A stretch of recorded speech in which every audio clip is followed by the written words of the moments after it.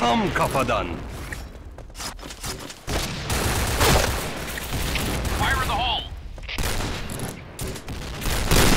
Fire in the hole! Fire in the hole! İki kişi.